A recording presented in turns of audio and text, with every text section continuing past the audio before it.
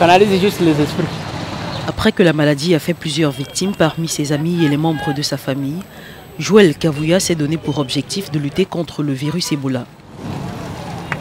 À 21 ans, le natif de Beni, ville située à l'est de la République démocratique du Congo, a compris l'impact de la sensibilisation sur les populations.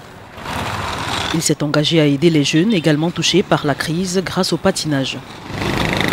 Je l'ai fait en ayant le but d'encadrer les jeunes.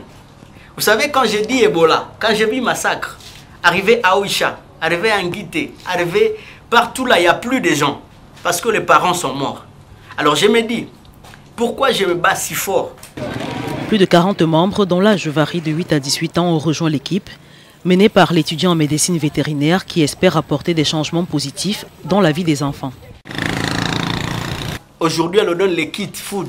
Ils ont des kaunga, ils ont du riz. Mais est-ce que ça, ça sera pour l'éternité? Ça ne sera pas pour l'éternité. Mais il faut le jeune qui, qui, qui ont senti la douleur de ces gens. Aujourd'hui, de plus en plus de personnes s'informent et croient en l'existence de cette maladie mortelle. Je pense toujours que le virus Ebola existe, mais quand je suis sur la route, je l'oublie et je me concentre sur le patinage, car si je me souviens de ça, je peux être distrait et peut-être m'effondrer.